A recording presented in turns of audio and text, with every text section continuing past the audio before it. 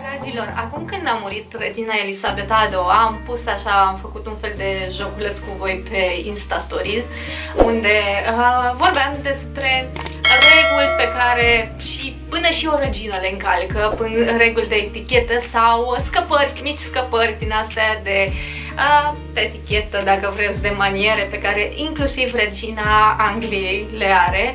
A, și asta în ideea în care vreau să subliniez faptul că este firesc și este normal ca din când în când să mai greșim sau să nu avem tot timpul o prezență de spirit sau să nu fim tot timpul așa încorsetați încât să respectăm absolut toate regulile de, de etichetă. Dar concluzionam eu acolo că asta nu înseamnă că neapărat trebuie să facem chestiile astea cu bună știință, adică să încălcăm regulile astea cu bună știință, doar pentru că ne este lene să le respectăm. Când se întâmplă să mai scape așa câte o chestie, e, e ok, dar când încalci regulile astea cu bună știință, acolo este vorba despre altceva și poate discutăm în alt clip despre asta. Dar ce vroiam eu să discut cu voi și ce mi-a atras atenția și cu unde s-a iscat un pic mai multă zânzanie în ceea ce privește acele story-uri, a fost acolo unde am uh, pus story-ul cu lăsat genții pe jos se pare că există o întreagă dezbatere și există o întreagă polemică la nivel uh, internațional pe net, să zic, nu doar aici la noi.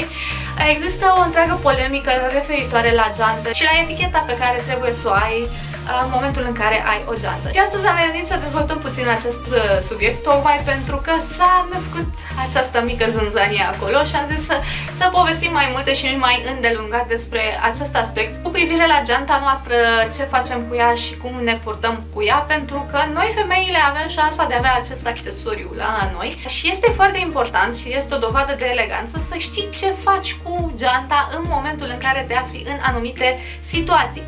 Cu precădere vom vorbi despre situația în care te duci la restaurant și cu în precădere când stai la masă, pentru că aici a fost o mare uh, problemă, fiindcă eu am spus că geanta nu se lasă pe jos și este o credință relativ personală pe care o am. Am auzit-o de-a lungul timpului și prin diverse cărți de bune maniere sau prin diverse speech-uri din astea despre bune maniere. Eu știu că nu toată lumea este de acord cu, această, cu acest dicton, dar faptul că nu suntem de acord sau că nu ne convin anumite reguli nu înseamnă că ele nu există există. Apoi vreau să dezvoltăm în clipul ăsta dacă se lasă geanta pe jos, când se lasă geanta pe jos și cum se lasă geanta pe jos în cazul în care se lasă. Aș vrea să încep prin a spune că personal consider că geanta aia pe care o purtea regina nu era tocmai potrivită în toate contextele în care o purta ea, da? Deci hai să plecăm de la treaba asta, dar pentru că ea era regina și cumva devenise un simbol al ei și era un element statement al ei și cumva făcea parte din acel outfit sau acea imagine pe care și-a construit-o,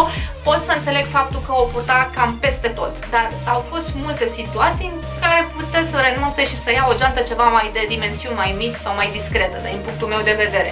Asta este pur punctul meu de vedere. Încă un aspect de menționat în ceea ce privește geanta reginei. Eu știu că este un, era un cod prin care ea comunica cu stafful ei și spunea când vrea să plece sau așa mai departe, dar uh, nu întotdeauna era, îl folosea, ci pur și simplu își lăsa geanta pe jos pentru că nu avea unde să pună geanta respectivă.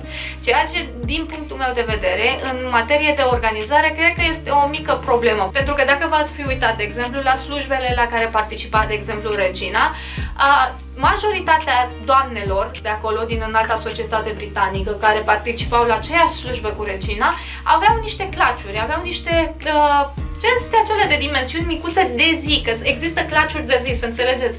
Deci nu există numai claciuri de seară. Nu avem claciuri numai pentru seară. Există claciuri și pentru zi sau genți de dimensiuni micuțe. Și dacă tot ea este regina și insistă să aibă acea geantă cu ea, mă gândesc că în materie de organizare stafful ei se putea aranja tocmai pentru că era regina să uh, îi pună ori un scaun lângă sau un suport sau ceva unde să-și lase geanta. Da? Pentru că ajungem la primul aspect pe care aș vrea să rețineți în ceea ce privește gențile, este că geanta, cu toate că nu se pune pe jos, niciodată nu se strivește în scaun.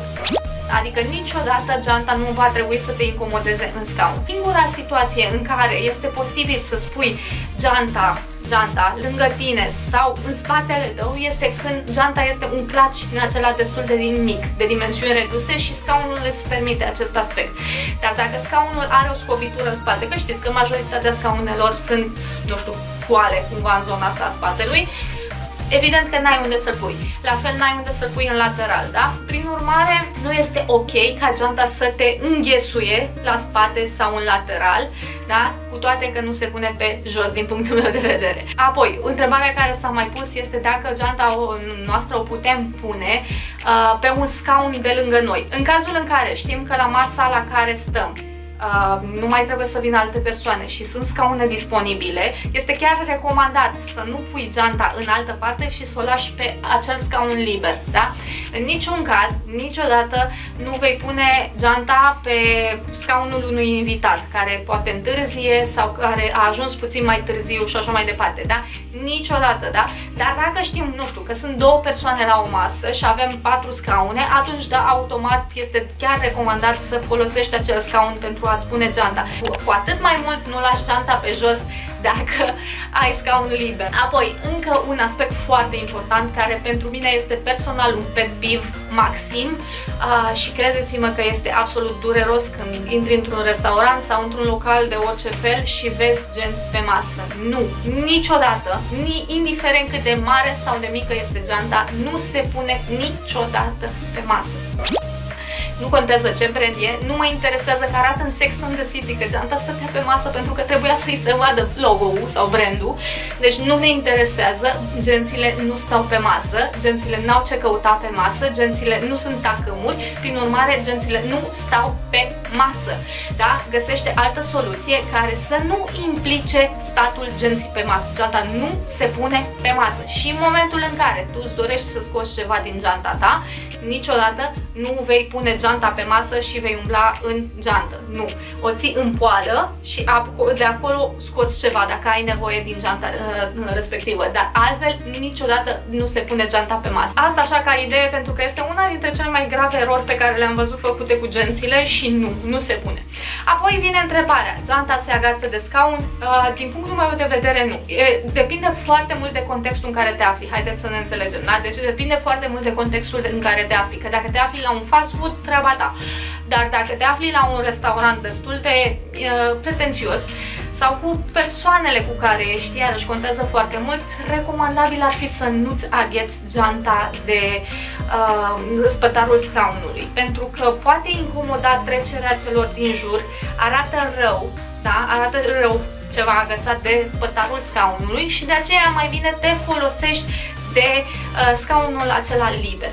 Deci, de preferat să evităm situația asta cu agățatul genților de scaune, mai ales că pot încurca oamenii, ospătarii, clienții și așa mai departe se pot lovi de geanta ta, poate cădea pe jos, dar se iscă, nu știu, un tamtam -tam acolo care poate fi evitat. Iarăși un lucru foarte important apropo de genți, dacă se lasă la garderobă, nu știu, presupunând că restaurantul la care mergi are garderobă.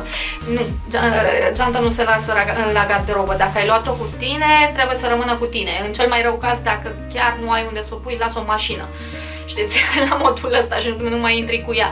Dar nu se lasă la garderobă pentru că este un obiect personal. Este un obiect mult prea personal. Dar este foarte dificilă treaba asta cu gențile și cu purtatul lor și de aia trebuie să avem mare grijă să adaptăm și geanta atât la ținuta pe care o avem, dar și la evenimentul sau la momentul zilei în care ne aflăm. Da? Am mare atenție pentru că văd des această, mm, să spunem, greșeală de, și de stil și de etichetă și anume genți masive pentru seară. Gențile de seară cu pregătere sunt de dimensiuni reduse, pentru că se presupune că seara nu ai nevoie de foarte multe obiecte și în egală măsură gențile de seară sunt micuțe tocmai pentru a nu încurca.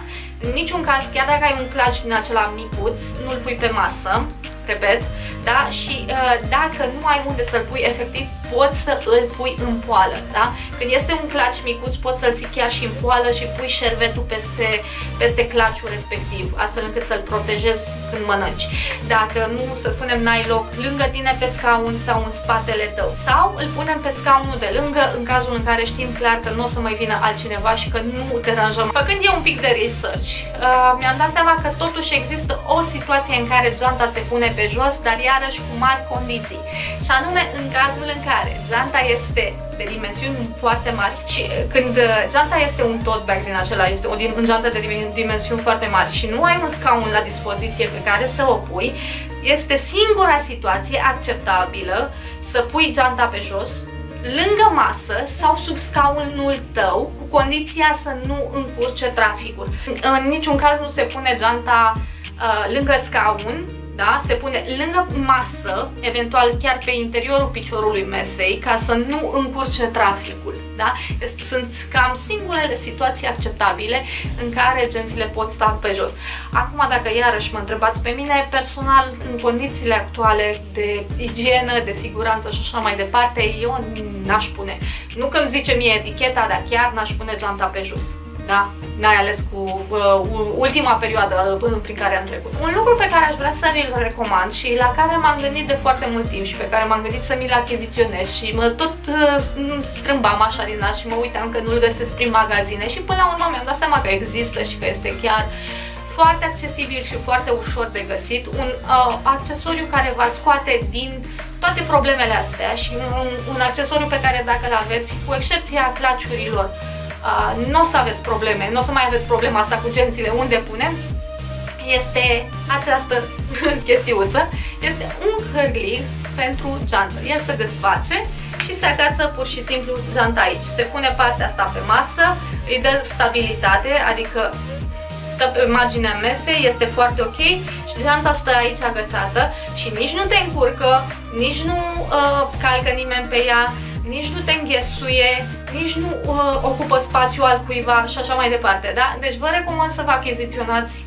chiar dacă purtați ghiostane cu voi, chiar dacă voi stilul vostru este sport și aveți ghiostane, tocmai pentru că pot încurca și pentru că nu aveți unde să le lăsați decât să le lăsați pe jos să se umple de microb, mai bine vă luați un cârlic din asta. Eu l-am luat de pe EMAG, m-a costat 15 lei, este super accesibil și e chiar nu văd de ce ar fi o scuză să mai pui geanta pe jos sau în altă parte dacă ai așa ceva. Există și mai scumpe dacă vreți cu modele și așa mai departe, dar eu mi-am dorit ceva foarte simplu și foarte mm, practic. Ocupă spațiu în geantă, nu vă uh, irită. Eu, spre exemplu, țin un portofel ca să, am să fiu sigură că le-am tot timpul la mine.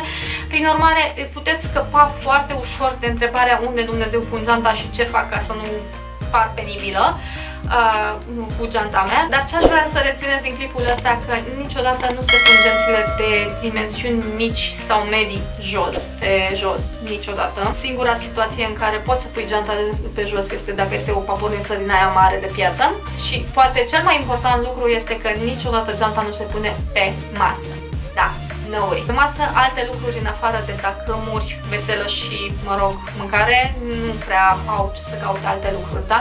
Așa că mare atenție la aspectul ăsta pentru că sunt detalii de finețe care chiar contează în anumite situații. O să vă las link de la povestea asta micuță, v-am zis să-l găsiți pe emal. Se numește cârlic pentru geantă, cine vrea să-l caute după denumire uh, și uh, vă scapă de foarte, foarte multe probleme. Are și un magnet ca să stea strâns, să nu se desfacă în geantă, deci este numai bun. Cam atât am avut de spus, dați un like și un share la clipul ăsta dacă v-a plăcut. Nu uitați să vă abonați, veniți și pe Instagram, că vorbesc acolo în fiecare zi cu voi și ne vedem în următorul clip. Ciao!